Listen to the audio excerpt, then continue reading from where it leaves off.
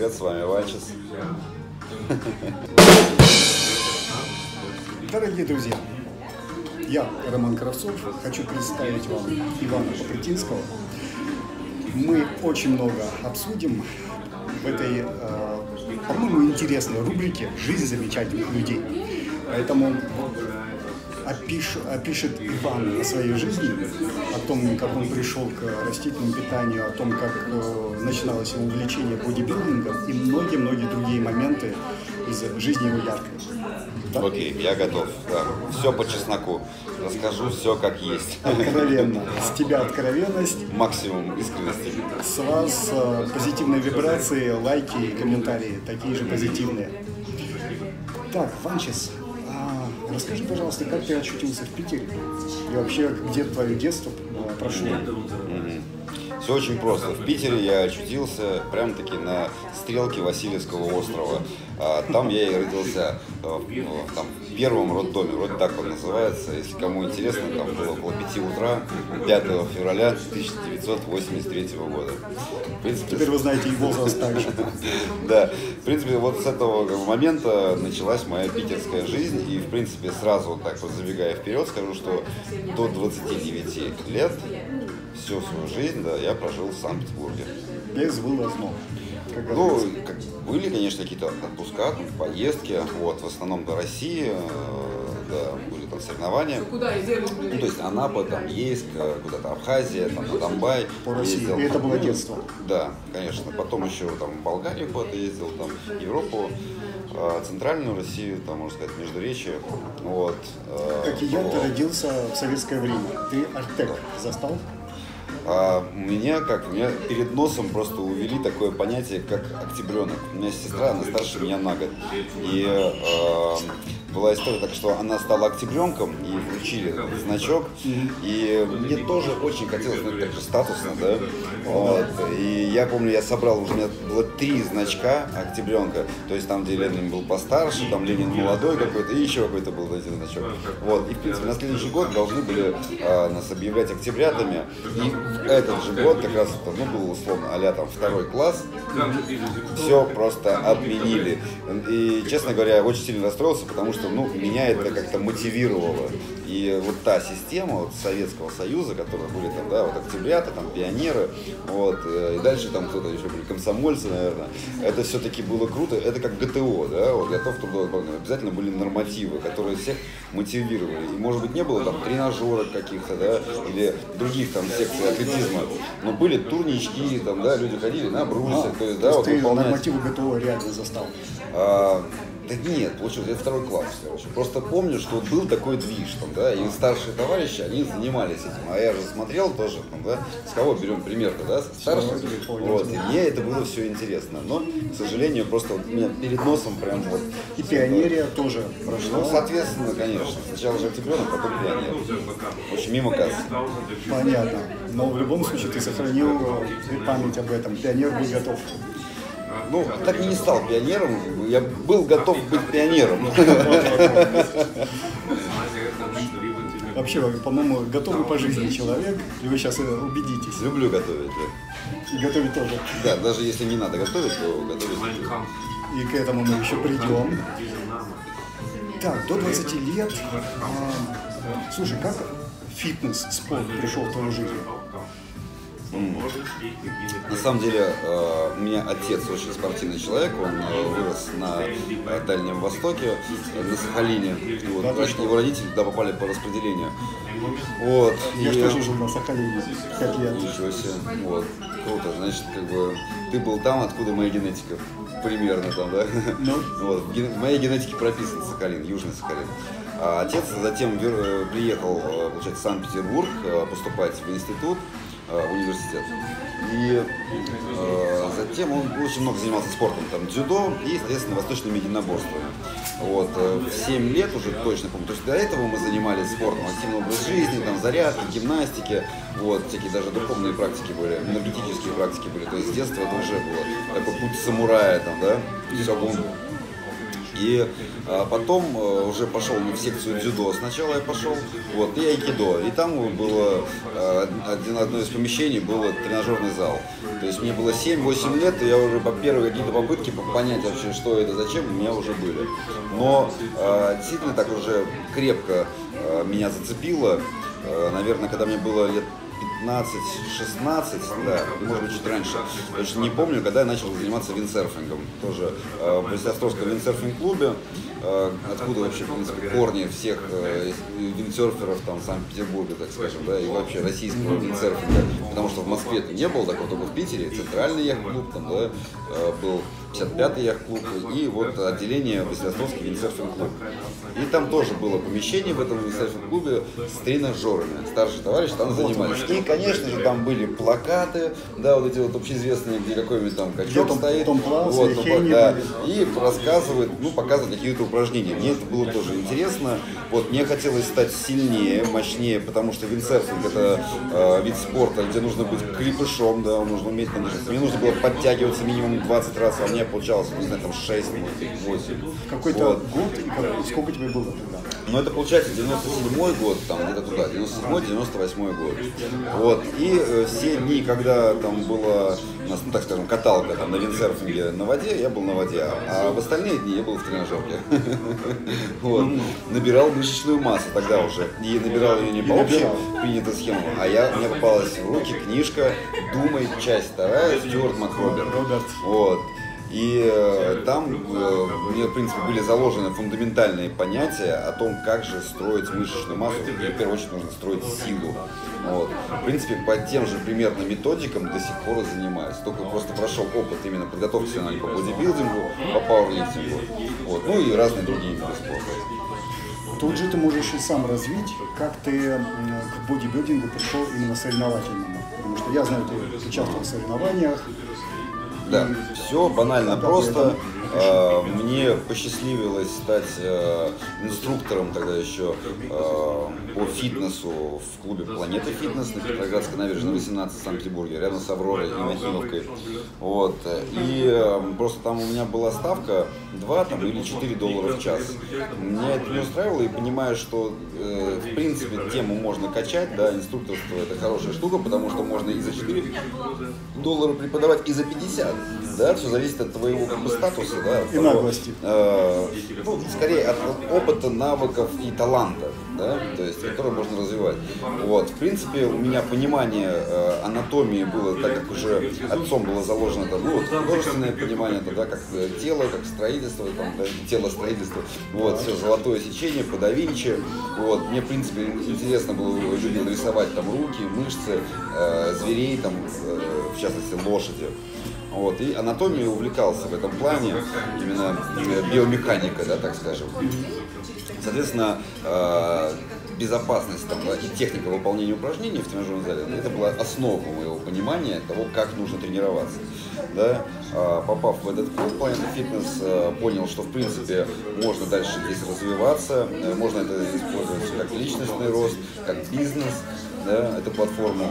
И, соответственно, для того, чтобы просто был выше статус немножко у меня, э, решил просто выступить на соревнованиях, тем самым подтвердив э, свои э, ну, навыки, умения да, и получив как бы, опыт еще соревновательный. Вот, соответственно, как бы в мире бодибилдинга, если ты э, соревнующийся спортсмен, там, хотя бы КМС, там, или тем более мастер спорта, какой-то чемпион, э, то это ну, более статусно, да, понимаешь? Конечно, конечно, Вот. Соответственно, попробовал свои силы. Вот там. Опять же, какой год? Это был 2005 год. Пятый. Какие соревнования? Э, Соревнования по бодибилдингу, классический бодибилдинг, тогда он еще назывался только вот в великой категории, второй год это был, э, мужской бодифитнес это был. Вот. А, ну, этот же классический бодибилдинг, категория. Но я имел в виду не, только категорию, но и название соревнований. А, это был ну, чемпионат, открытый чемпионат Санкт-Петербурга. Санкт-Петербург. Да, питерский, то есть сразу же планочка высокая. Первые же свои соревнования мне удалось занять третье место. Красава. Вот. То есть как бы подготавливался, да, понимающий. Ну, у меня, конечно, и до сих пор есть мой друг, тренер, э, Высоков Алексей, э, который меня подводил к соревнованиям, как, подводил такое слово, который меня выводил на соревнования, вот тоже с большим своим опытом помогал мне подготовиться, корректировать там питание, вот, тренировки. И в итоге первое выступление было третье место, ну а там потом еще несколько выступлений. И в итоге мне посчастливилось выиграть Кубок Восточной Европы по, ну, э, да, по бодибилдингу. Вот. И это мне было, получается, 24 года, где-то так. Вот, соответственно, сразу же получил звание мастера спорта. И э, после этого еще думал, выступать или нет, но решил как бы э, все-таки не выступать потому что тема как бы соревновательный бодибилдинг это не шутки со здоровьем, там лучше не шутить. Вот. И в принципе мне как э, э, человек, который в принципе, получил один ну, из лучших титулов, просто понял, что тогда это был как бы, подарок судьбы для того, чтобы я прошел как можно быстрее, наверное, этот level, да, этот этап, и перешел к другому, то есть получал другой опыт. И я пошел в пауэрлифтинг, тяжелую атлетику. Вот ты неожиданный где, сделал. Где мне тоже удалось э, выполнить норматив мастер спорта. Вот. Ну, и там было тоже тренировок, у меня там почти полтора года где-то тренировок под руководством э, олимпи... э, рекордсменки Гиннесса, вот, восьмикратной чемпионки мира по пауэрлифтингу Румянцевой Наталья. Вот, э, земля и пух. Краткое замечание по поводу пауэрлифтинга. Это силовое троеболие, для тех, кто не знает. То есть э, только по трем упражнениям э, люди соревнуются жим штанги лежа, приседания со штангой на спине и становая тяга, опять же со штангой. Э, наилучшие результаты, то есть свой самый максимум показывается в каждом из этих трех упражнений. Поэтому... И считается потом сумма э, собранных килограмм. Соответственно, по сумме уже э, смотрится, кто победил. То есть не смотрится там, кто больше присел, кто больше пожал там или больше потянул в отдельности. То есть сумма да, как бы собрал, как бы, она достаточно, может быть, для того, чтобы выполнить мастер спорта, там, ну, или же выиграть соревнования, ну, или хоть другой норматив Это, опять же, Ленинградской области? Это Санкт-Петербург. Я в Санкт-Петербурге выступал, да, вот именно, ну, там всегда проводятся открытые чемпионаты. Ну, я же думаю, по всей области, да? да? На, на всю область. Да, ну, открыто, потому что, в принципе, это вообще откуда угодно. Это открытый чемпионат, значит, любой спортсмен может участвовать с любого региона, ну, там, да, да. и даже иностранец. Угу. И твоя весовая категория какая была? 90. 90 килограмм. С какими результатами ты там выступил? Максимальный присед у меня был 290 килограмм. Это экипировочный дивизион, да. Ну, Шикарно. 290 килограмм это присед был, жим лежа 205 и э, становая тяга 265 Ну, результат, ну, веса. В принципе, да, очень э, тяжело, на самом деле действительно тяжелая пахота, вот все пауэрлифтеры, им просто пожизненный респект, вот, а, тоже мне удалось выполнить норматив мастера спорта, на чем я остановился, потому что, ну, еще с детства меня приучил там отец и бабушка, у меня 20 пять лет проработал на кафедре спортивной травматологии, она говорила, главное правило в спорте – это вовремя уйти.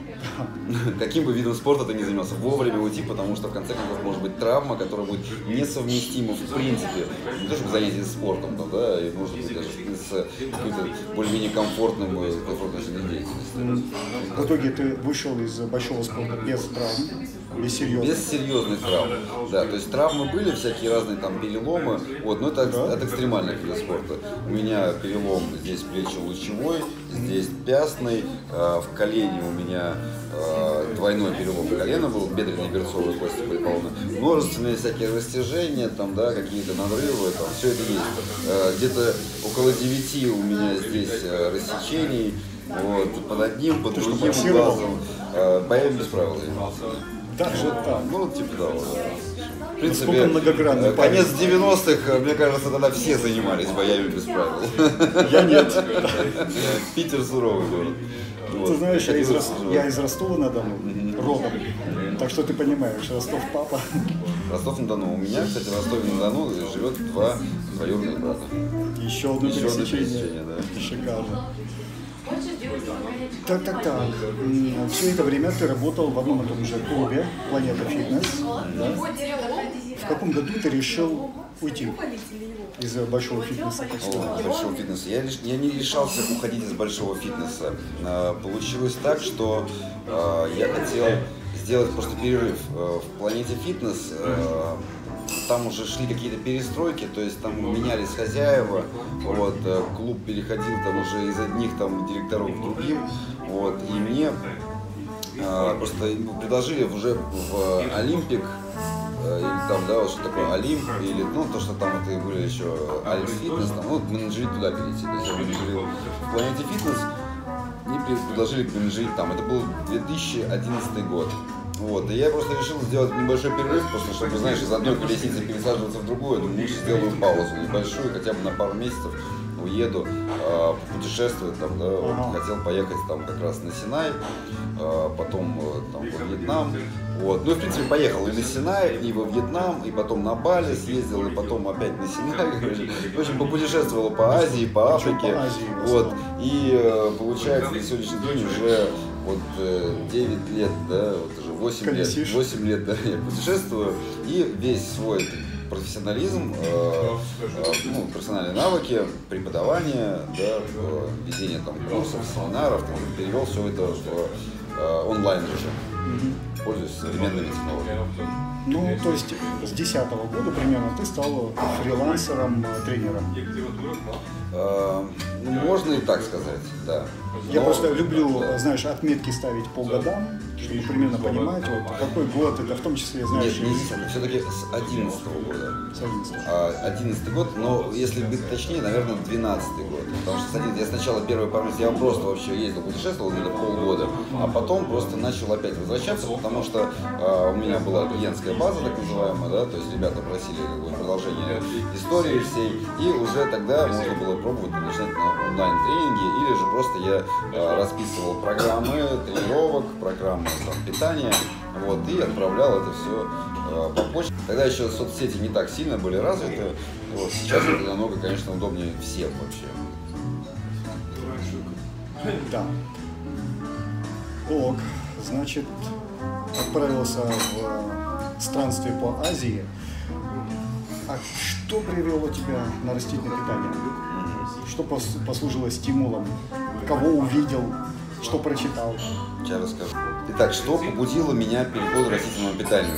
Э, побудило меня то, что именно выехав и начав путешествовать, э, понял, что в принципе вот э, жизнь в большом городе, выступление в соревнованиях по тяжелой атлетике, ну, по пауэрлифтингу, и в принципе вот вся эта нагрузка, она ну, утомила мой организм. Да? Я понимал, что у меня на самом деле очень много мышечной массы. То есть для меня там было 90 килограмм, это вот был мой вес, там, а то чуть больше. Да? Вот, я занялся опять своим любимым делом, виндсерфингом после большого перерыва. И мне просто лишняя мышечная масса была не нужна. Плюс у меня обострились проблемы с почками, вот, у меня уже тогда был панкреатит, да, воспаление поджелудки и проблемы с кишечником, то есть, э, ну, гастрит, там постоянно надо, все это на грани язвы. Вот, выехав, уже понимая, что мне не нужно готовиться к соревнованиям, что я могу спокойно жить и существовать, решил изучить вопросы э, очищения организма, просто детоксикации, перезагрузки. Да? И тогда мне попалась на глаза информация, э, видеокурсы Марвы Вагаршаковна Огонян, Одинцова, 2010 год и э, захлеб просто пересмотрел все. А тогда очень мало было информации, не было никаких там советов, Фролов там еще вообще не выступал. Вот. Была только вот Марова Горшаковна Огонян. Там, да? Была еще э, Бутенко, вот, но она в основном больше книги писала, то есть материала было мало, хотя и они были. И вот, в основном э, только про зеленые. Да, э, получилось так, что Марова Горшаковна Огонян просто открыла мне э, взгляд на питание человека совершенно с другой стороны, да, вот микробиология, вот биология, клеточное питание. Что на самом деле все вообще по-другому там. вот. И у меня уже была база понимания, что такое диетология, потому что преподавал в Академии фитнеса. Вот. И там у меня была диетология, анатомия, там, физиология, то есть там, ну, знания необходимые для э, фитнес-тренера. Да? То есть мы не глубоко там изучали там, биохимию, да, вот, э, то есть базовые такие знания для того, чтобы человек мог грамотно тренировать в тренажерном зале. Вот. И, конечно же, я перепробовал тогда все виды диет, традиционных, там, чередований, там, да, там, белковые, там, кето, там, вот, знаю, ну, всякая разная, короче, да, система питания. Ну, интересно, вот. что ты оказался открыт информацией. Не сразу, нет. Э, по, по, в принципе, информация о вегетарианстве в моей семье появилась тогда, когда сестра стала вегетарианкой. Она стала вегетарианкой, наверное, в году, не знаю, о, Вера, напомни мне, в 2000, может быть, 2000, может быть, 2002, не знаю. Вот может быть, э, может быть позже, но не, э, не суть. Я помню, что просто когда я преподавал диетологию, разбирали тогда уже вопросы э, вегетарианства, и моя позиция была такова, что если это э, идет как бы типа этическое вегетарианство, там, да, вот на психике там, да, построенное отношение к этому, то я считал это вообще, э, я считал это нездоровым раскладом, потому что человек не должен жертвовать собой ради как бы каких-то там зверушек, там, понимаешь? То есть как бы еда это вопрос выживания.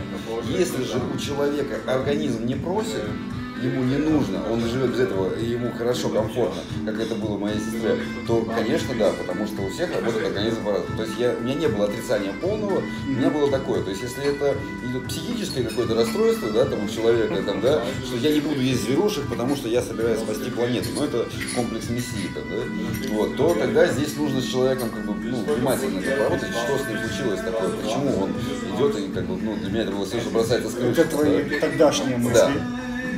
Да, и, ну вот как бы по здоровью, если организм не позволяет, да, то, конечно же, что поспоришь, да, есть как бы а, диета номер 4, там еще ну, там, вегетарианские, да, виды диет, которые э, подходят как оздоровительные практики.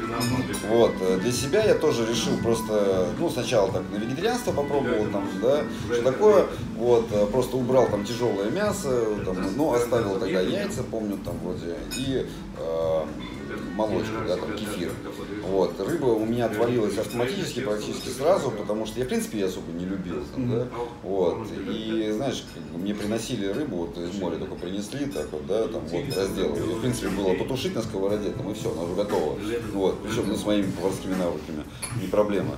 Но я просто там нырял, откуда ее приносили, и я как-то раз мне приносят рыбку, я ее начинаю разделывать и понимаю, что, блин, а я вроде вот с ним недавно, вчера вроде как плавал, понимаешь, и нам так весело было, там здорово, понимаешь, он там... Какие интересные мысли. Вот, и как-то я посмотрел, он так лежит, одним глазом на меня смотрит, и слушай, что-то я, наверное, не могу. Я его затушил, ну, притушил, там, приготовил, вот, и не стал даже есть.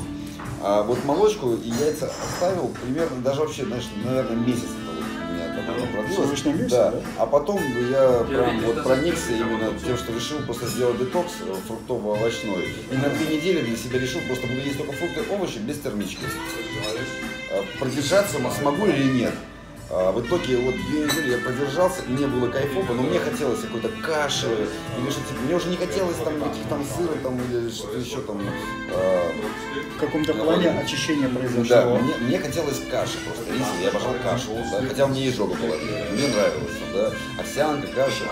Вот, и я очень хотел я дождался, когда две недели вот закончится, вот, мои вот это вот э, аскезы там, да, фруктовые. Э, приготовил кашу, попробовал и не пошла. Не пошла. Да, и потом вот меня где-то года на три, короче, меня затянуло такое сыроедение преимущественно, то есть время сыроедения, иногда лишь там тушеные овощи добавлял, вот, то есть делал э, овощной салат, и часть этого овощного салата, например, просто тушил, да, вот, и делал такой э, прикормку, там, я не знаю, там 50 на 50, то есть где-то что-то оставлял тушено, но в основном все было уже без термички. И это было начиная с 2011 года? Нет, это 12 год, это лето 2012 года.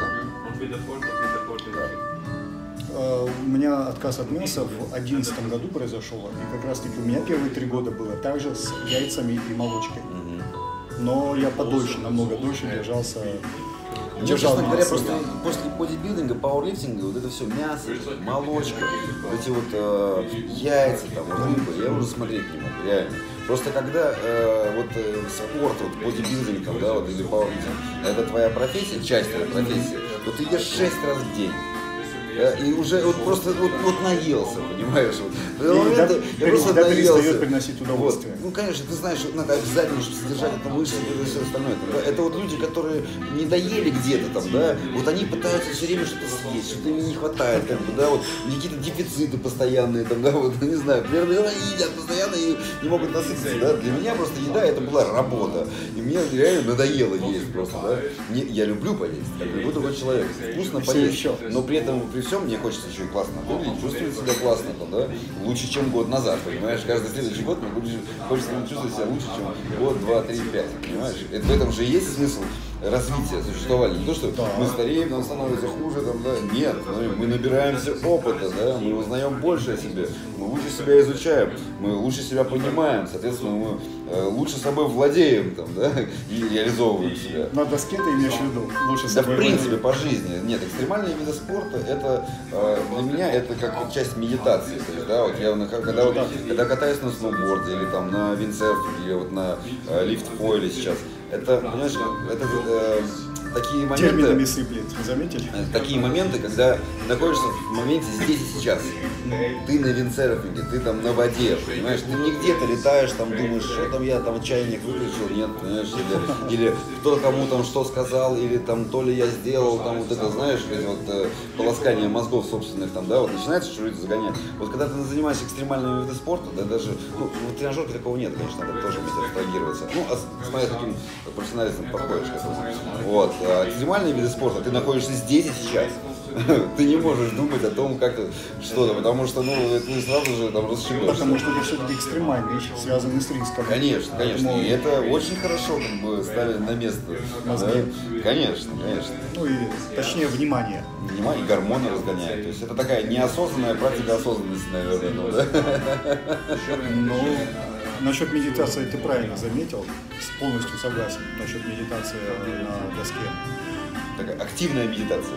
Да, да. Слушай, я э, ну, вообще у Ивана хорошее количество подписчиков, как и в Ютубе, почти 8 тысяч. Осталось там какие-то... Чуть больше, даже 8150. А, уже за эти пару дней?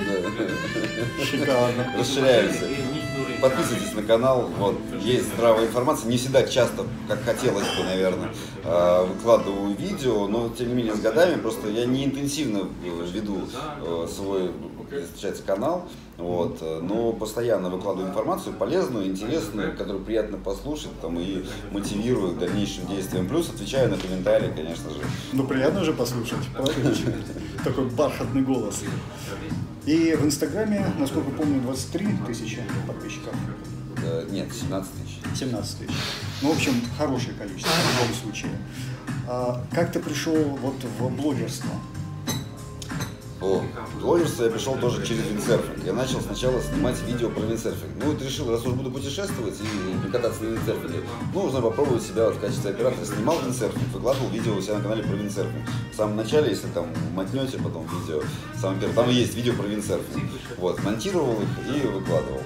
А потом, на самом деле, смотри, у меня переход был на э, вегетарианство, там, веганство, сыроедение в 2012 году. И только в 2016 году у меня появились там первые видео о, э, питании. о питании, о веганстве. То есть до этого момента я понимал, что я не готов для того, чтобы людям давать какие-то отдельные советы. Недостаточно у меня опыта. И, и человек, который мне, э, вот, меня переубедил, да, э, дал мне такую инерцию туда, э, имя. которому я благодарен просто буду всегда, как бы, э, это... Назови его имя. Подожди, ну сейчас как бы он э, поменял фамилию свою, да? Ну, Сергей Доброздравин. Вот. То есть, Я думаю, под да. этим Сейчас замечательным он... псевдонимом его многие помнят да. сих пор. А, сейчас он как бы Ермаков, да, это его настоящий. Да, Тогда да, у него был такой сценический образ Доброздравия. Вот. У нас был общий знакомый, а, который просто ему сказал, что вот есть такой вот Иван Поплетинский, который в теме там, да, и живет там где-то там на островах, там, да, в горах. Вот.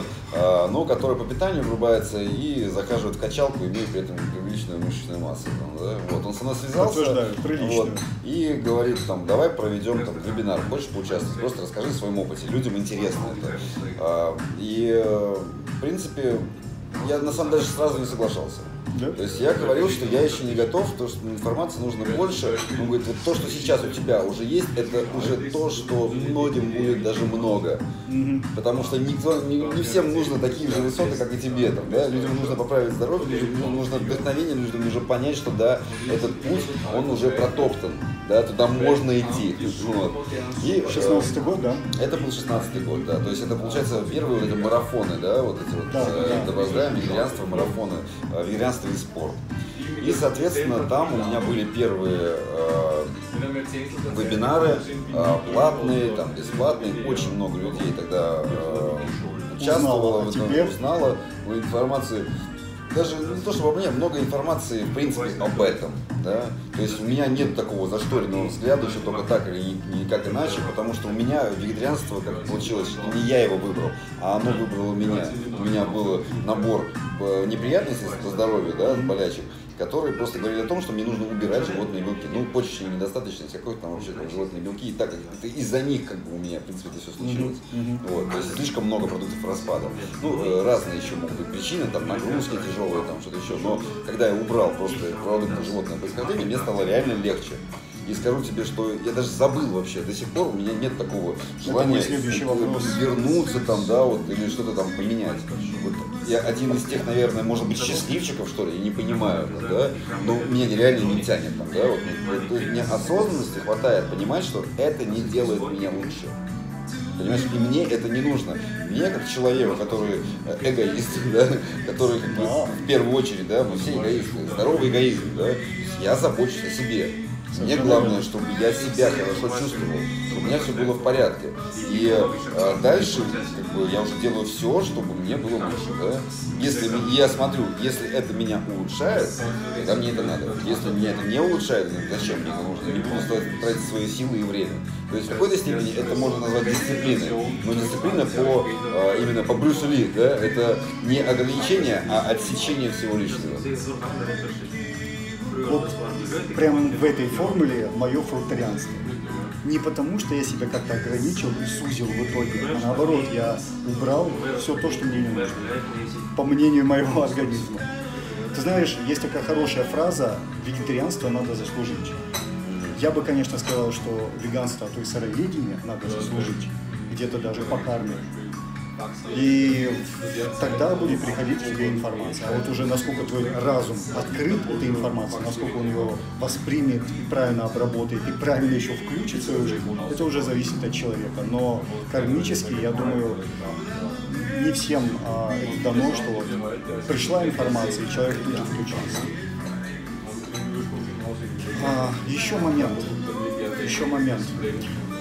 16 год, собственно, это год, когда у меня пришло понимание, что я тоже готов делиться информацией. Глядя на тебя, на Арсена Маркаряна, на Алексея Воеводу.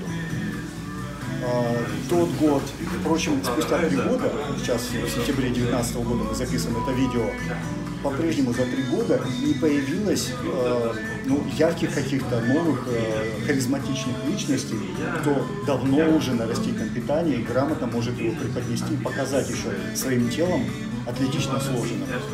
Ни среди парней, ни среди девушек. Фрукторианцев много появилось.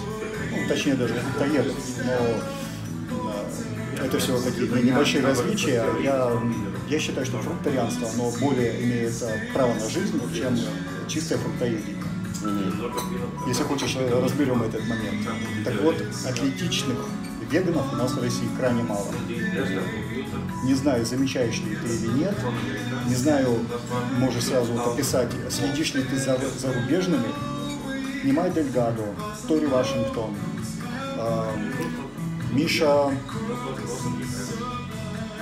к сожалению, не вспомню. Ну, в общем, среди зарубежных, среди америка- американцев, ну, около 7, наверное, человек можно выделить, кто прям э, с количеством подписчиков от 50 тысяч и, как у Немая Дельгадо, почти 300 тысяч. Не говоря уже о Фрэнке Медрано, у которого, у которого миллион. Единственный, наверное, парень, кроме Моби, кто веган и у кого миллион подписчиков. Все, я других веганов не знаю. Парни, девушек, конечно. Даже эта подруга Немай Дельгадо, Янка Телла, у нее тоже там нехилое количество. В общем, э, я к чему это? Среди зарубежных почему-то гораздо больше. И почему-то, может быть, ты как раз э, размышляешь вместе со мной на эту тему, не найти сыроедов атлетичного вида, не найти, все на веганстве. Давай поразмышляем, почему в России их нету и почему э, в мире на веганстве, а не на сырой пище.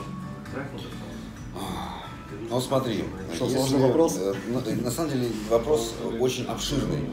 Э, смысл в чем? Что вот для многих людей еда на сегодняшний день, в условиях развития даже человека, это способ именно выживания. То есть человеку там все полезно, чтобы в рот полезло, там, например, да? Это вот э, на нашем, на постсоветском пространстве это так. Потому что дефициты, там, голод, послевоенные, там, всякие там репрессии, не знаю.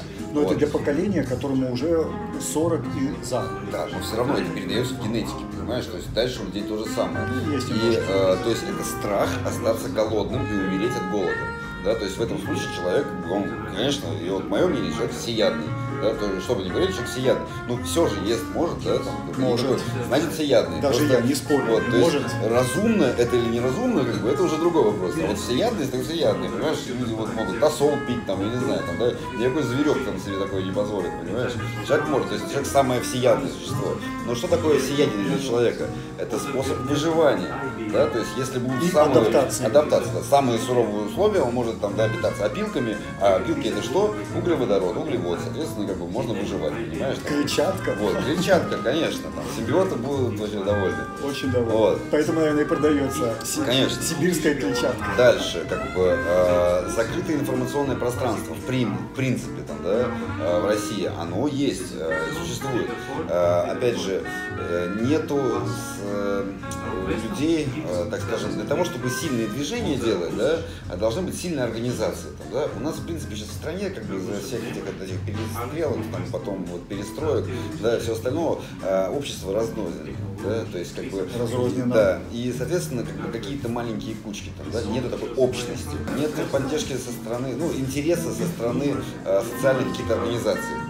То есть вот э, если в других странах вот юриспруденция очень сильно развита, да, и вот защита там э, прав это очень сильная как бы тема. То есть есть конституция, есть права, там, например, да, вот и там, э, волеизъявление, там, не знаю, там, и ущемлять права человека как бы не имеет права никто, да.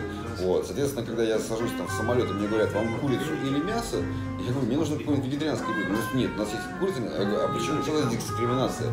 Понимаете, вы, вы, выбор без выбора, там, да, понимаешь? И в какой-то другой организации там сразу же там, опа, извините, мы там вам сейчас сделаем. То есть mm-hmm. это заполнено. То есть это мой интерес, это мой выбор, там, да. Вот, опять же. И, соответственно, нету как бы череды каких-то условий для того, чтобы это могло существовать. И плюс, вот, э, опять же, есть э, такие там корпорации там, государственные, которые продвигают там, да, вот тот тип питания, который был э, придуман и э, сбалансирован, исходя из тех условий, которые были. Да? Ну ведь в Штатах тогда, этого тоже нет. Тогда это в Штатах там, в принципе, знаешь, сравнивать Штаты, знаешь, в Штатах все очень развито, все вообще. Все, и самое плохое, и самое хорошее. То есть там есть простор для развития всего. Здесь же есть какие-то, вот, например, в этой стране, есть какие-то рамки, шторки, да, в рамках которых как бы вот э, развивается все. Но это тоже всего лишь этап эволюционный. Понимаешь, то есть год, два, три, пять, я вижу, как все развивается. Я приезжаю, вот мы пришли вот в прекрасное место, авокадо, здесь перекусили там, другое Спасибо, место. кафе авокадо. Да. А, много всяких разных мест э, появляется все больше и больше с движением там вегетарианства, веганства, да, все больше и больше прав. Вот. И, соответственно, чем больше люди об этом заявляют, тем больше, понимаешь, вот производителям, да, продавцам, а сейчас у нас капитализация производителям, продавцам, и все равно им нужна прибыль. И спрос рождает предложение. Как только появляются люди, которые говорят, нам нужны сейтановые сосиски, понимаешь, их начинают делать. Да? Как только люди говорят, что нам нужно постное меню, хотя бы, да, не обязательно веганское, постное, тоже веганское, да, веганское даже. Хотя бы. Вот, то оно появляется. Да? И то есть, когда люди умеют заявлять о своих правах, тогда у них эти появляются возможности. Итак, Понимаешь? Нет спроса, нет предложения, отсюда нет коммерческой, э, коммерческого ну, подоплека, э, фундамента, что ли, да, в производстве продуктов, в, появлении кафе, в меню в больницах, в самолетах, поездах. Ты к этому, да? А, нет спроса, потому что у нас мало информативно, все в, основном в рамках. Этом, Люди зачастую просто не заявляют о своих желаниях. И еще потому, что не заявляют. Да. Да. Сравняли. А, особенно веганы, да. Те, которые переходят, особенно сыроедение, становятся высокодуховными личностями. В итоге, в итоге очень стараются свое эго не выпирать. Ну и опять же, э, видишь, здесь э, что нужно еще? Для того, чтобы человек э, умел развивать, он должен быть сильным духом, характером. Да? В принципе, я заметил, что вот на вегетарианство перед переходят люди, которые идут путем от духовного к физическому. Да? Просто проблема этого пути в том, что по дороге вот, духовного к физическому они вот, э, теряют это физическое, и к тому моменту, когда они готовы уже там раскрываться, физического нету там, да? вот. Но э, как бы хотя бы вот это вегетарианство им там позволяет э, ну, раскрывать свои там какие-то э, э, ну, способности, да, вот именно э, там, сострадание к миру, там, да, вот его понимание, там, и, э, в принципе, вот этическое вегетарианство очень много сделало для нашей планеты, даже если люди не понимали, там, действительно им не нужно это у нас есть, например, да, они просто ради идеи, вот, и очень много привезли. Э, вот. Этичность мы с тобой еще обсудим, но давай вернемся к, той, э, к тому части вопроса моего о зарубежных веганах. Почему там больше... Э, я Потому что там уважается выбор другого человека. Понимаешь, когда э, вот общаясь с русским человеком, вот еще тогда там 6 лет назад, 7 лет назад по поводу моего вегетарианства, веганства, э, люди просто, вот я явно так крутили, дебил Понимаешь? Да. Вот, да. Когда же общался с иностранцами, спрашиваю, обалденно, вот ты молодец, вот прям вот сделал выбор. Я не могу, я вот люблю эти гамбургеры, вот, всякую ерунду, ну, вредную всякую, там, эти грили, там, все. Вот, они понимают, с пониманием. А ты вот молодец, просто я вот для себя не могу выбрать. То есть, понимаешь, здесь люди не отрицают. То есть, если мне это не подходит, значит, ты дебил. Вот, то есть, и там уважение к чужому выбору, да, вот, то есть, мой выбор, это мое желание, мое право, и здесь полное уважение. Здесь же, вот в этих вот э, условиях, а, немножко это все троллится, да, не уважают там есть. чужой выбор. Как не уважают зачастую эти самые веганы, да, говорят, что э, ты там мясоед, сюда. Я с одним вот веганом там разговаривал, говорю, слушай, а почему ты так вот говоришь? То есть это тоже неуважение к этим людям. У меня, например, там есть родственники, там, да, которые тоже не понимают веганство, веганство, ты что, хочешь сказать, что они дебилы, там, или что там, да, если они в рамках. И здесь, понимаешь, вот это вот э, идет вот это вот междуусобица да, то есть поддержки как бы выбора чужого э, нету, да, то есть личностное пространство там да, не соблюдается, там, да? все должны быть такими, как все, да, тогда мы все вместе все, понимаешь, или что там. Вот, соответственно, тоже... Это про Россию, ты более-менее так описал. А, почему же за рубежом? Хорошо, а, я именно про атлетов спрашиваю, про спортсменов. Почему такое большое количество? Потому что за рубежом это давно развито. И для спортсмена самое главное результат. Просто здесь сейчас в России нету специалистов, вегетарианцев, тем более веганов, э, которые могут э, дать э, квалифицированную там, информацию о том, что человек будет точно уверен, что он добьется спортивного результата. И все идут по протоптанной дорожке что все знают, вот БЖУ, там, да, и животные белки, вот, пожалуйста, углеводы, вот все пошли. И он точно знает, что он придет. И рисковать никто не хочет. Спортсмену все равно, каким путем, там, да, что он будет при этом да. прожить. Там, понимаешь, он главный результат. Слушай, а ты меня сейчас навел на мысль. А вот чисто гипотетически, если рассуждать, если к тебе обратятся, ко мне обратятся, если я точно отвечу утвердительно, я смогу помочь спортсмену прям на очень высоком уровне спортсмену, перейдя на растительное питание, как-то улучшить его результат. Ты сможешь, ты справишься? У меня есть э, видео на YouTube канале Vegan Bodybuilder э, Вадим Вартлап. Э, два года назад, что ли, получается, Странно, я пропустил это видео. обратился ко мне израильтянин парень, да, то есть он там а, вот, короче, подвел его к соревнованиям, как вывел его на соревнования по бодибилдингу среди э, всех, всеедов, да, да, да, да. вот, э, категория 75 килограмм, он стал серебряным призером, то есть вице-чемпионом стал да, то есть вывел э, не то чтобы там бодибилдера на соревнования по бодибилдингу, где он стал призером, понимаешь, первое выступление. Это, так сказать, все израильские соревнования? Это израильский был, да, чемпионат, чемпионат Израиля. Вот, вот, вот, да. И это конкретно. Вот, э, Я на него подписан. Мы тоже уже около двух лет э, Шарк, переписывались. Да. Вадим. Угу. Вот, и то есть у меня есть отзыв профессионального спортсмена, который как бы, вот, э, прошел со мной этот путь, который сделал форму, вот, и который получил результат, кубка, медали и так далее. Вот. А также у меня, конечно же, консультируются, там ребята узнают, там, как, что сделать там по питанию. Но конкретно таких запросов, что я вот собираюсь по бодибилдингу выступать, там, да, там, нет, нет, а я не только по бодибилдингу да. имею в виду. Ну, допустим, вот приходит на Мартина Навратилова, но она и так на веганстве. Э, такого уровня. Неважно, не обязательно тяжелая атлетика, пауэрлифтинг, бодибилдинг. Баскетболист, теннисист, гольфист – ну, мы с тобой можем вывести, да, прописать ему питание? Конечно, конечно. Тем более, нет, спортсмену, на а самом это деле, что? будет легче. Обращайтесь. Спортсмену, уже э, человеку, который уже привык там, да, к режиму, к э, дисциплине и так далее, с ними, с ними это просто это самые золотые вообще ученики, понимаешь? А, потому что этот человек, кто ты знаешь, что он точно, наверное, уже не так он, важен. он, ты знаешь то, что он сделает то, что ты ему сказал. Mm-hmm. Да? То есть э, ты знаешь, что ты дал человеку программу, он по ней пошел пошел, потому что он знает, кто такой тренер, кто такой диетолог, кто такой он. Как бы, да? Его задача просто максимально эффективно как, выполнять э, все по плану. Да, тогда он становится там чемпионом. И, соответственно, э, здесь вопрос того, что, ой, это все классно, ну меня вот, я вот поехал к бабушке, там, да, и вот она меня вот накормила беляшами, и теперь я вот два дня вот есть не могу, там, понимаешь, вот таких вот случаев не будет да, то есть, ну как же я там могу отказаться, вот тут это. Это же бабушка там, сделала. Да, там как пельмени, как бы там да, еще. Да, Подожди, разве на питание было нашим там? Ну это же там, как я вот могу, вот это вот э, спортсменов таких, таких вообще вопросов не возникает. Да? То есть это люди, которые идут на их цели. Да? Это люди, которые понимают, что питание это э, лишь средство достижения э, результата, а не какое-то развлечение. Там, да? Вот это в страсти, вот они по поводу питания не купаются. Не, как говорит мой друг, не делают культа из еды. И все-таки давай разберем, почему же сыроедов нет среди профессиональных атлетов?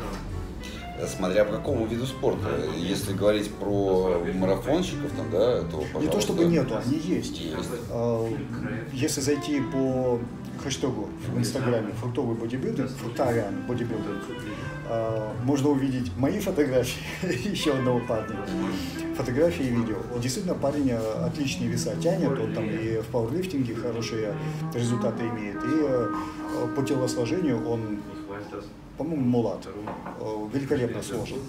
Даже признаю, он лучше меня. Вот, но реально на сырухе никого. Как так? Нет опыта такого. Понимаешь, почему у меня? У меня опыт, опыт сыроедения несколько лет. А, вот для того, чтобы просто очень много питаться тогда, да, и э, сохранять мышечную массу, я, ну, я потреблял порядка там 3,5-4 тысяч калорий, э, чтобы содержать мышечную массу порядка 84 килограмм.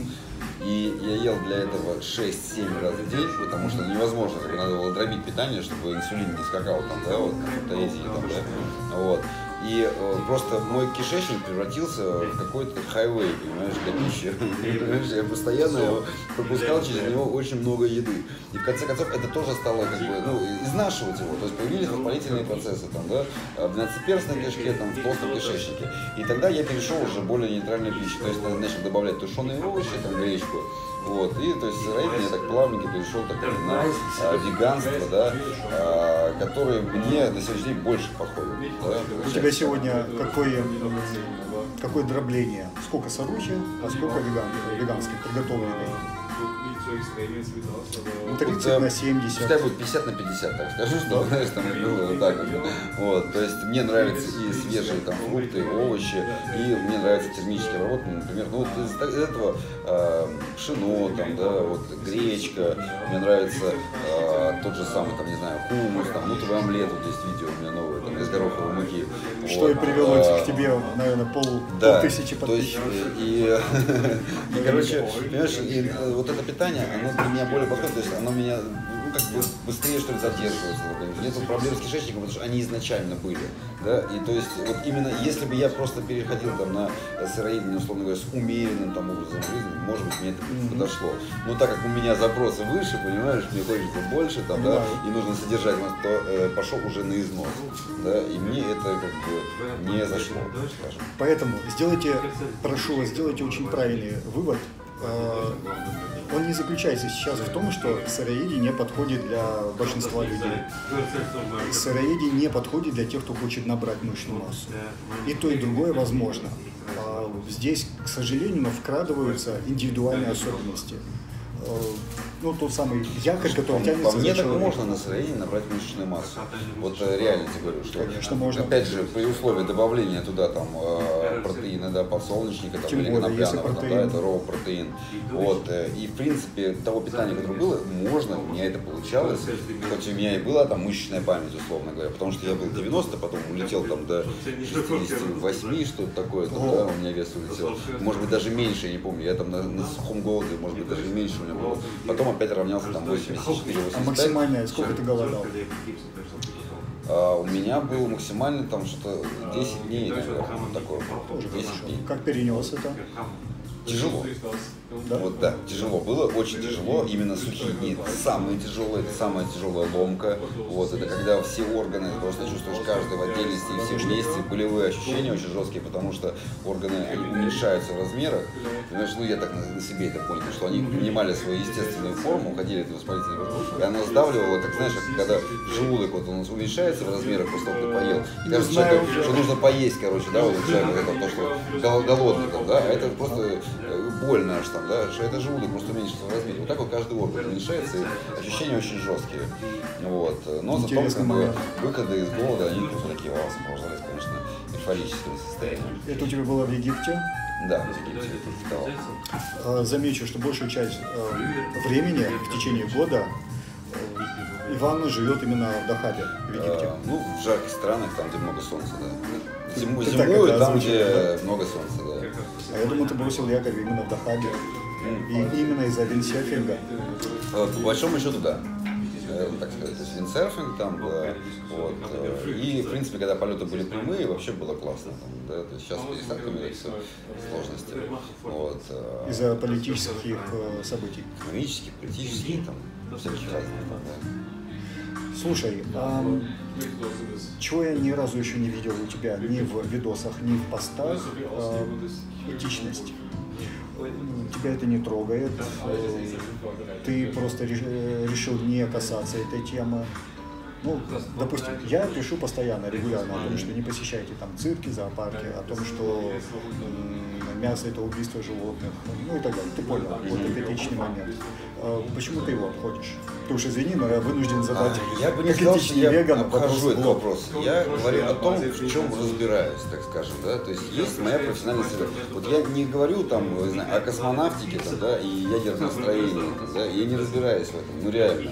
Да, я э, мало что могу сказать вообще, в принципе, там, по биохимии, кроме поверхностных понятий и личного опыта. Да. Точно так же и... Ну, ну, э, биохимии ты хорошо разбираешься. ну, Биохимии продуктов уж точно. Э, Смотри, вот то же самое касается этического э, веганства, там, вегетарианства, да. Для меня это абсолютно нормальная вещь, то есть, там, да, это гигиена, да, вот, кажется, но я не продвигаюсь и не разбираюсь, я не знаю лидеров движения, я не знаю, кто чем занимается, то есть, это не моя стезя, да, и поэтому я этим не занимаюсь, и э, поэтому э, не продвигаю такие моменты, да, то есть меня это не озадачивает. Я знаю точно, что я вообще, в принципе, э, веду свои блоги, и если ты обратишь внимание, мои видео, мои посты, я никого не призываю к вегетарианству, веганству, там, тем более к сыроедению. У меня все говорит о том, что есть польза вот в продуктах, что растительные белки это тоже белки, да, что нужно структурировать рацион, Вот это точно заниматься заметил. физической нагрузкой, да, то есть я даю те, ту информацию, которая подойдет всем. Понимаешь? И который не будет, например, у человека вызывать какое-то отвращение там, да, или протест там, или что-то еще. То есть моя задача, э, получается, как бы объединить миры, понимаешь? И, те, и тот, и другой мир, чтобы получал как бы информацию, и при этом при всем не было этих Конфликта интересов. Да, конфликта интересов. Поэтому я никогда не топлю вообще то, что убери, там, ни в коем случае там, не ешь того, там, да, не навязываю никого. Просто говорю, э, ты трени- тебе нравится, тебя устраивает, делай. Главное, тренируйся, там, да, если тебя устраивает твоя физическая форма, уровень твоего здоровья, там, да, вообще ничего не меняешь. Да, и продолжай делать то, как ты делаешь. Если что-то не так, нужно смотреть. Если есть какие-то болячки, тебя не устраивает твой внешний вид и образ жизни, что нужно делать? Ну, менять образ жизни. Да? Однозначно. Если что-то не устраивает, что-то нужно менять. Конечно. Только для этого нужно включить голову, разум и понять, что же нужно изменить. Ну окей, и вполне имеешь право на такое ведение да, своей деятельности. А насчет экологичности, ну, насколько ты заморачиваешься в плане пакетов, пластика и так далее. А, вот первое, по поводу экологии, да, живу практически в самом экологичном месте, да, да там в радиусе 200 километров никаких там вредных производств нету. А, дальше, конечно же, все, что касается пластика, то есть есть эко-бэк, да, вот, сеточки, с которыми как авосечки, там, да, вот, магазин просто для себя, вот, просто приятнее, там, да, чтобы все это было с собой. Вот, конечно же, проблемы, там, перепроизводства пластика и все остальное, если начинать об этом задумываться, это такие глобальные масштабы, что, ну, реально человек с неокрепшей психикой может, ну, в депрессию впасть, да, вот, но мы, ребята, покрепче, и главное, опять же, за собой следить, да, то есть, по мне так, но Э, я не буду сильно страдать, если у меня будет там упаковка от гречки, которую я выброшу в мусорное ведро. Вот, конечно же, это не, ну, как бы не очень хорошо там, для современного общества, что нет у нас там э, сепарации мусора, там, да. А, но Слушай, в Египте есть э, раздельные баки для нет, раздельного нет, мусора? Нет. Нету этого недостаточно, вот это нужно более цивилизованное общество, и само общество, понимаешь, должно Вот у нас как бы, что тоже опять же сравнение, решили все на кого-то перекладывать ответственность. Кто-то за них там сделает дороги, кто-то за них там сделает, там, да, э, вот будет экологией заниматься, переработкой, там что-то еще. Нет, общество в первую очередь должно заявлять о том, чего оно хочет. И тогда будет уже что-то происходить, да, будут появляться Но... какие-то группы по интересам, как минимум, там, да. Тут у меня есть уже гордость за нас, россиян, потому что множество организаций, я знаю на сегодняшний день, ну, тот же разбор, э, именно так в Инстаграме можете найти, разбор уже занимается сосредоточенными точками по сбору мусора раздельного. Поэтому эти люди появляются. У нас очень много развивается. экологичных блогеров Ром, появляется. Развивается и экологические блогеры, и рестораны, и питание, и веганство, веганство. Все это развивается. Вот я вижу, прям все расцветает и все классно, и с каждым днем все лучше и лучше. Мне нравится, в принципе, вот даже я в России, э, кто-то там говорит, кто-то хорошо живет, кто-то нехорошо, то есть, на одной стороне России, как любой другой мир, любая другая страна, страна возможностей. Здесь тот, кто хочет чего-то добиваться, он добивается, тот, кто хочет с чем-то бороться, он борется, а тот, кто хочет ничего не делать, он ничего не делает, там, да? кто-то хочет, чтобы кому-то все везло, ему везет, кто-то концентрируется на негативе, у него полный крах, понимаешь, и действительно контрасты есть все, да, в какой-то степени это зазеркалье, в какой-то степени это а, отражение нас самих, понимаешь, и поэтому э, здесь все происходит, все есть, да. Вот. Смотря на чем делаешь а, фокус. Я, я понял твой посыл. Вибрации, в принципе, здесь такие, они хоть и стрессовые, там, да, вот это страсти, как бы, но тем не менее они мотивируют людей двигаться, да, и эта мотивация, она двигает прогресс, да. Вот. Э, безусловно, никто не отменял эволюцию сознания, э, которая как бы, еще происходит, да, и еще происходить. Вот. Но просто многие люди сразу хотят всего, да, и чтобы еще кто-то сделал. Да, не заявляя даже о своих желаниях. Понимаешь? Просто порой эти желания, но даже в негативном ключе, что вот кто-то не принимает, а вот как бы понимаешь, ну, хотя бы мы э, обладаем все-таки этим коллективным разумом, да, нужно отправлять туда правильные мысли, да, вот именно заряжать атмосферу, да. Позволь переиначить твои слова. Ребята, все те, кто смотрит, все зрители, будьте, выражайте одним словом свои чувства и желания почаще выражаете, только делайте это разумно.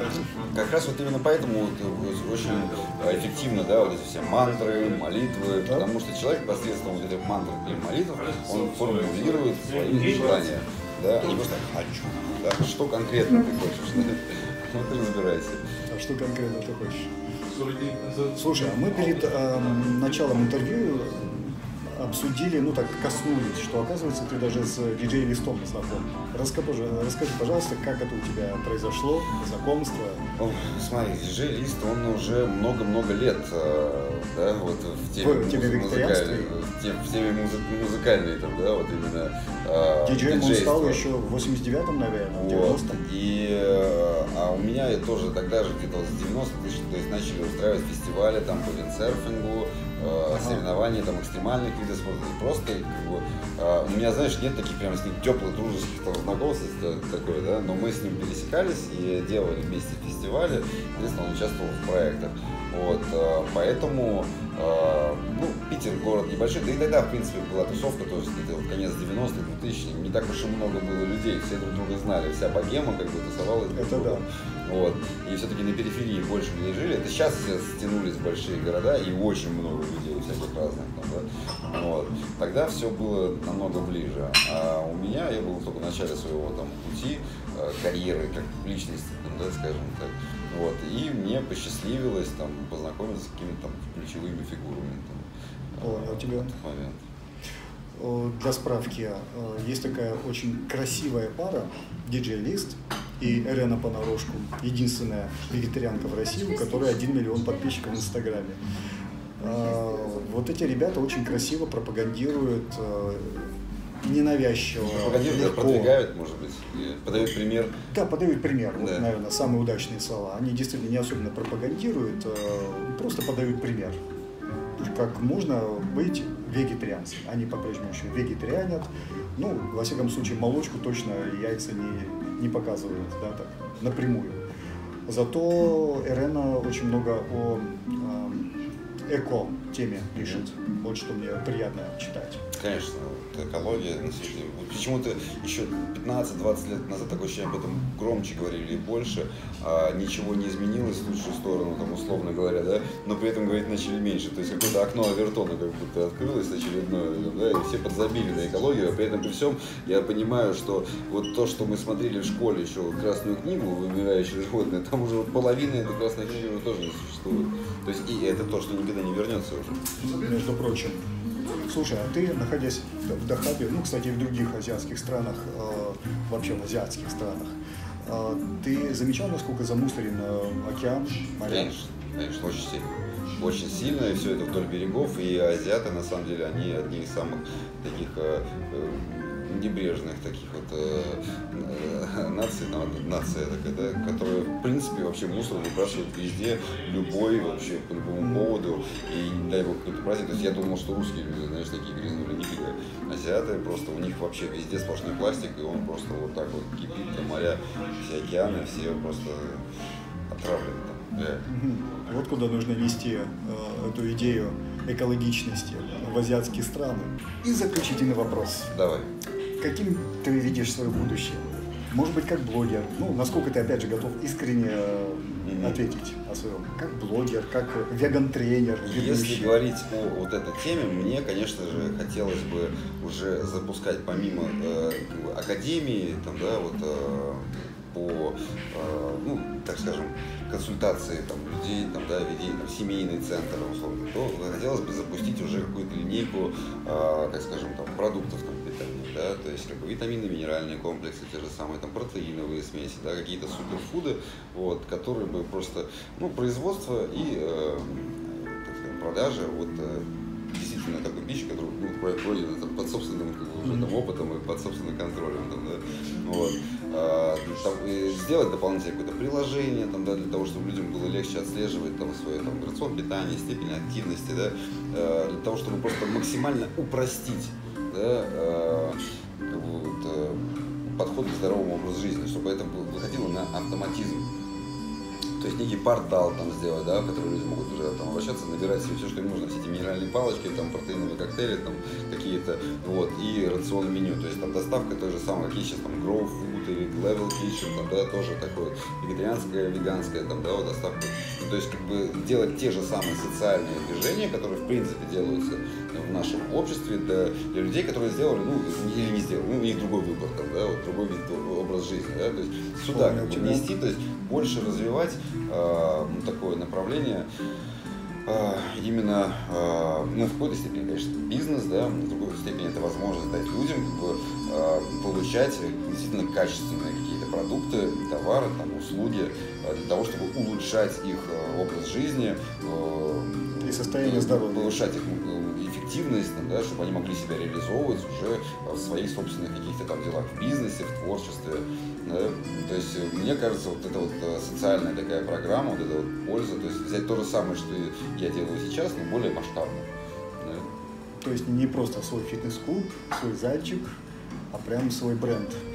ну, у меня уже есть бренд, у меня есть собственная система оздоровления, Genetic Update, есть бренд, там, Vegan Power, там, да, Ванчис Vegan Power, там, да, вот есть свой логотип, там, и, соответственно, уже все есть для этого, да, ну вот, э, то есть время подходит к тому, что уже будут реализовываться эти вот э, моменты, потому что должна все-таки быть и у нас благоприятная социальная обстановка, экономическая, там, да, для того, чтобы просто много сил там не ушло впустую, да, то ты делаешь бренд, там, да, а ситуация не та, там, и что в итоге там, да, И в то же время инвестиции. лови волну, потому что это уже сейчас э, начинает подниматься. Конечно, потому что мы уже, уже... на этой волне давно-давно катаемся во все, получая удовольствие вот, и как-то помогая людям тоже выгребать на эти же там, волны. Поэтому э, уже, как бы сказать, уже это, запущена вся эта машина, уже все на самом деле происходит, вот она на глазах, просто мы немножко торопим события иногда, там, да, или желаем большего, а нужно все-таки уметь, да, вот, иметь позицию наблюдателя и видеть, как все прекрасно развивается. Что пожелаешь смотрящим а, нас? быть бдительными, да, вот, и, как сказать, э, ну, все-таки, конечно, как бы посоветую как специалистам, да, вот в плане питания, в плане режима, э, обращаться к специалистам, да, людям опытным, чтобы понимать, что там наша э, жизнедеятельность здоровье, это и питание, и тренировки, там, да, вот, э, балансе. Потому что это действительно вопросы, касающиеся выживания, там, да, лично э, каждого из вас. Поэтому нужно относиться к этому ну, ответственно. Вот, э, да, быть бдительными, э, не забывать там о том, что жизнь это удовольствие и радость, там, да, а не какая-то там карма там или что-то там, да, вот что-то тяжелое, там тренировки, это там что-то ограничивающее. Нет, это как раз дающая возможность ставить э, цели долгосрочные по жизни, чтобы понимать, что ты должен быть, хоть и мы живем там здесь и сейчас, в настоящем находясь, но вся наша жизнь, она это инвестиция в будущее. Мы хотим быть счастливыми, Хорошо здоровыми не только сейчас, а и через 10, через 15, через 20, 50 там, 60 лет. А, и именно туда нужно да, выстраивать стратегию. То есть, как бы выстраивать стратегию, я хочу быть через там, 50 лет там, миллионером, да неизвестно, что будет, а, какие будут экономические условия, может быть, это вообще будет не нужно, там, да, все, все будет все в достатке. А вот поставить задачу, чтобы ты был здоров и сильный, да, вот это интересно, потому что действительно в этом возрасте сила и здоровье как ничто другое понадобится, да? Это да. Вот. И, соответственно, исходя из этого, а, уже действовать дальше. Вот. Ну и, конечно же, там, подписываться на канал, там, да, ставить лайки, оставлять собой. комментарии, вот, э, делиться своим опытом, впечатлениями. Э, да, просто быть более открытым, уметь принимать чужую, ну, позицию другого человека, вот, и не навязывать свою, а, как говорится, просто быть примером, да, для подражания, там, кого-то, или просто для самого себя, там, даже достаточно, да. Для своих близких близких, там, да, ну и не требовать там ни от кого там больше, чем они могут там делать. Невозможно понять то, что невозможно понять там на том уровне, на котором человек находится. Да. Вот, но тем не менее находится много людей, которые это прекрасно все понимают. Я благодарю тебя за этот честный, Взаимно. откровенный рассказ о себе. Взаимно. Благодарю, что поделился многими интересными мыслями, фактами своей жизни. С вами был Роман Кравцов, Иван Папритинский. Действительно, подписывайтесь на наши каналы. Ссылку на Ивана я, разумеется, размещу ниже. Смотрите ниже, комментируйте, позитивно комментируйте. Буду рад э, вашим вопросам, предложениям каких, каким-то. И go vegan! Да, увидимся на просторах интернета.